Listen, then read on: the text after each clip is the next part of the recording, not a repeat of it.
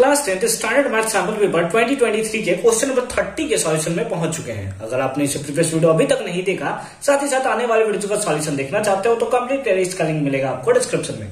Question number 30 के और में भी एक क्वेश्चन है, जिसको अगेन हम एक सेपरेट वीडियो में डिस्कस करेंगे, जो कि अगेन उसी प्लेलिस्ट पे अपलोड कर दिया जाएगा। क्वेश्चन नंबर 30 क्या है? Prove that a parallelogram circumscribing a circle जो एक सर्कल के ऊपर हम लोग सिंपली समझ सकते हैं कि पैरेललोग्राम जो बना है, वो एक रोम्बस का फॉर्मेशन करता है, ये हमें प्रूव करना है। या आप ऐसे बोल सकते हो कि पैरेललोग्राम के एक जो अंदर सर्कल बना हुआ है तो सिंपली वो पैरेललोग्राम क्या होगा? एक रोम्बस होगा। तो फिगर के थ्रू समझे तो ज़्यादा अच्छे से समझ में आएगा। सपोज़ कर लोगे कि ये हमारा एक सर्कल है। ठीक है? सपोज़ ही किया जा सकता है। सर इसे ठीक है? गजब तो ऐसा सपोज़ कर लोगे कि ये हमारा क्या है? पैरेललोग्राम है। क्या है पैरेललोग्राम? अब ये जो है, थोड़ा इसको अच्छे से बनाना पड़ेगा। ये हाँ। ये हमारा क्या है? सर्कल है, ठीक है? और ये जो हमारा है, इसका नाम दे देते हैं, let us suppose A, B, C, D. तो एबीसीडी क्या है? एक पैरेललोग्राम है, ऐसा हमें देना है। और प्रूव करना है कि ये एबीसीडी जो होगा, वो एक रोम्बस होगा, ठीक है? आओ, इसको प्रूव करते हैं। हमें अगर बात करें गिवन के तो गिवन क्या दिया हुआ है? हमें दिया हुआ है कि एबीसीडी क्या है? पैलेलोग्राम क्या है एबीसीडी पैरेललोग्राम है। तो पैरेललोग्राम में आप बोल सकते हो कि एबी जो होगा, वो पैरेलल होगा किसके? सीडी के। उसके साथ साथ आप ये भी बोल सकते हो कि एबी जो होगा, वो इक्वल होगा सीडी के। एबी जो होगा, वो पैरेलल होगा सीडी के। या फिर ये बोल सकते हो कि एबी जो होगा, वो इक्वल होगा सीडी के। एंड साथ ही साथ आप क्या बोल सकते हो कि जो बीसी होगा, वो पैरेलल होगा एडी के। बीसी जो होगा, ये जो साइड होगा, वो पैरेलल होगा किसके? एडी के। और आप ये भी बोल सकते हो कि बीसी जो होगा, वो इक्वल होगा किसके? दैट इज़ एडी के। ये पैरेललोग्राम के थ्रू हम लोग समझ सकते हैं। हमें प्रूव क्या करना है? एक रोम्बस है।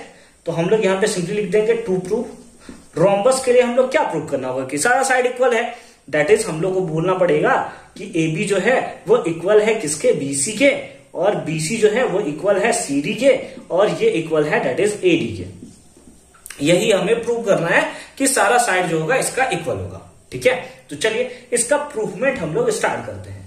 तो यहाँ पे हमने प्रूव करना शुरू कर दिया है। अब अगर आपको सर्कल का एक प्रॉपर्टी पता हो तो आपने देख रखा है कि अगर एक्सटर्नल पॉइंट से दो टेंजेंट ड्रॉ किया जाता है एक ही सर्कल पे तो वो दोनों इक्वल होता है। लेट सपोज़ ये पॉइंट ए ले लें, हम लोग एक्सटर्नल पॉइंट है। तो इस बेसिस पे हम लोग बोल सकते हैं कि ये वाला जो एरिया है और ये वाला जो एरिया है, दोनों क्या होगा? इक्वल होगा। अब इसका नामकरण शुरू करते हैं, इसको हम लोग लेते हैं पी इसको सपोज़ कर लेते हैं। क्यू? ये सपोज़ कर लेते हैं आर और ये सपोज़ कर लेते हैं एस जहाँ जहाँ पे इसने टच किया है। तो इस बेसिस पे बोल सकते हैं कि एपी जो होगा, वो इक्वल होगा किसके? ए एस के। तो प्रूफमेंट में हम लोग सिंपली लिख देंगे यहाँ पे कि length of tangent length of tangents from an external point from an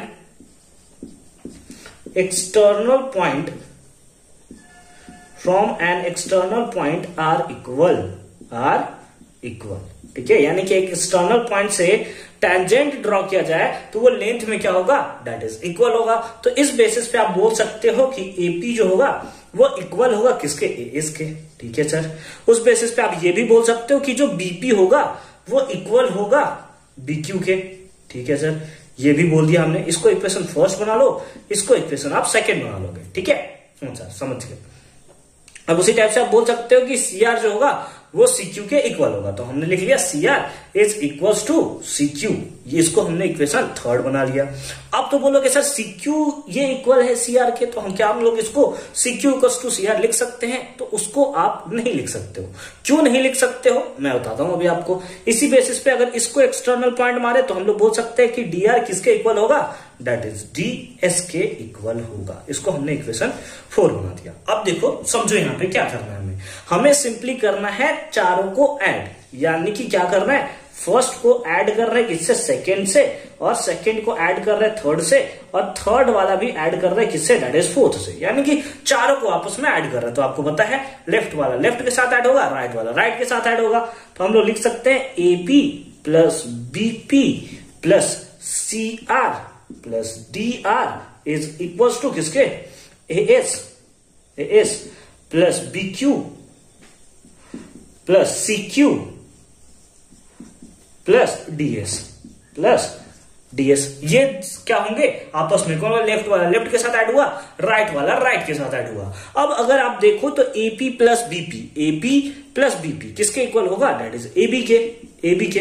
अब अगर आप बीपी के प्लेस पे बीक्यू इक्वल टू बीपी कर देते तो थोड़ा कंफ्यूजन हो जाता ना।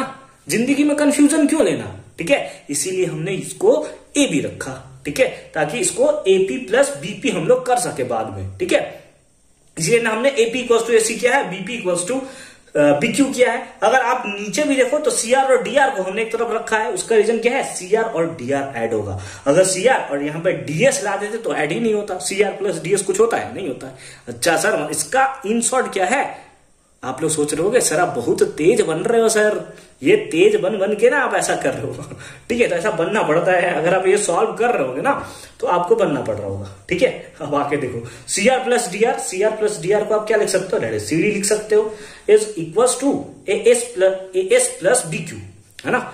A S plus B Q A S plus B Q ये तो कुछ है ये नहीं है, सर। कोई बात नहीं है, सर।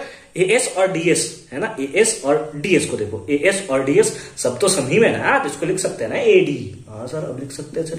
और B Q plus C Q B Q plus C Q इसको हम लोग क्या लिख सकते हैं? दैट इज़ बी सी ठीक है? तो आपने ऐसे लिख दिया। आई होप कि ये कॉन्सेप्ट आपके अच्छे तरीके से क्लियर होगा। और आप देखोगे तो एनसीआरटी में यहीं तक एक सॉल्व करने के लिए दिया हुआ है। लेकिन यहाँ पर हमारे पास आया A B plus C D is equal to A D plus B C ऐसा तो हमें कहीं प्रूव ही नहीं करना। हमें तो प्रूव करना है कि ए बी सी डी एक रॉम्बस है। ठीक है? कोई बात नहीं। हमें पता है कि ए बी जो है सीडी के इक्वल है। तो हम लोग ए बी के प्लेस पे सीडी लिख सकते हैं या सीडी के प्लेस पे ए बी लिख सकते हैं। आ जाओ, इसको सीडी बना देते हैं। तो C D plus C D is equal to क्या होगा? एडी को एडी रहने देते हैं प्लस बीसी को भी एडी लिख सकते हैं। ये तो हमें गिवन था ना तो इसको हमने लिख लिया क्या? एडी तो इस बेसिस पे आप लिख सकते हो that is two C D is equals to two AD two से टू मर गया तो आप बोल सकते हो कि सी डी जो होगा सिंपली इक्वल होगा एडी के। यहाँ पे हम लोग हेंस वाले पार्ट को लिखते हैं। ठीक है, ताकि मिटाना ना पड़े और एक ही बार में आप सारा कॉन्सेप्ट देख सको। हालाँकि इधर तो मिट ही गया सर। कोई बात नहीं, सर, लिख देते हैं, सर। हम्म। अब देखो, क्या दिया है? ए बी इक्वल है सी डी के। ए बी इक्वल है सी डी के और सी डी इक्वल है ए डी के तो आप ये भी बोल सकते हो कि ए बी जो है ए बी क्योंकि इक्वल है सी डी के और सी डी इक्वल है ए डी के तो आप बोल सकते हो कि A B equals to A B equals to C D और C D equals to A D और अगेन आपको पता है ये भी कि ए डी इक्वल है बी सी के यानी कि सब मिलके पागल बना रहे हैं हमको। चारों आपस में इक्वल है। है ना, एक है ना, बुढ़िया बोलती है सारे मिल के पागल बना रहे हैं हमको। तो बस वही है कि चारों आपस में इक्वल हैं और यहाँ से हमारा प्रूवमेंट हो जाता है कि यहाँ पे आप लिख दोगे कि ये हमारा क्या हो गया प्रूव्ड हो गया। आई होप कि ये कॉन्सेप्ट आपको अच्छे तरीके से क्लियर होगा। वीडियो का लेंथ थोड़ा बड़ा है बट कॉन्सेप्ट इसमें पूरा भर भर के आपको दिया जा रहा है। तो आई होप कि ये कॉन्सेप्ट आपको अच्छे तरीके से समझ में आया होगा और कैसे हमने इसको प्रूव किया एक बार फिर से शॉर्ट में इसको समझ लेते हैं। सबसे पहले हमें गिवन था कि ए बी सी डी एक पैरेललोग्राम है तो हमने बोला ए बी होगा पैरेलल सी डी के। इस बेसिस पे हम लोग बोल सकते हैं कि A B equal to C D होगा, क्योंकि पैरेललोग्राम का ये प्रॉपर्टी होता है। उसके साथ साथ बीसी इसका opposite side that is BC parallel होगा एडी के। इस बेसिस पे हम लोग बोल सकते हैं कि बीसी इक्वल होगा एडी के। अब हमें प्रूव क्या करना था कि एबीसीडी एक रॉम्बस है, यानी कि A B equal to BC equal to C D equal to AD क्यों? क्योंकि रॉम्बस के चारों साइड आपस में इक्वल होते हैं। अब हमें प्रूव क्या करना है? लेंथ ऑफ़ द फिर अब हमने प्रूव करना शुरू किया कि चारों टेंजेंट मतलब टेंजेंट्स जो होते हैं, अगर एक एक्सटर्नल पॉइंट से खींचा जाए तो उसका टेंजेंट्स का लेंथ जो होता है, वो इक्वल होता है। इस बेसिस पे बहुत ही चालाकी से हमने ये चारों के चारों को इक्वल कर लिया। बाद में सबको ऐड किया तो हमारे पास आया A B plus C D equal to A D plus B C अब फिर यहाँ वाला जो हमें गिवन था, बस उसका प्रॉपर्टी का यूज़ करके हमने लिखा कि C D is equal to A D आया। और सी डी इक्वल है ए बी के तो हम लोग लिख सकते हैं कि ए बी पहले तो इक्वल था सी डी के सी डी इक्वल हुआ ए डी के और ए डी बी से इक्वल है। इसका मतलब आपस में चारों इक्वल है और कुछ नहीं, बल्कि ये हमें मूर्ख बना रहे थे। ठीक है? तो आई होप कि ये कॉन्सेप्ट आपको अच्छे तरीके से क्लियर होगा। मिलते हैं आपसे अगले वीडियो में। इसके और के क्वेश्चन के सॉल्यूशन के साथ कंप्लीट प्लेलिस्ट का लिंक डिस्क्रिप्शन में है। अगर आप आगे आने वाले वीडियोस देखना चाहते हो तो एकदम से प्लेलिस्ट में जाओ और देखते रहो।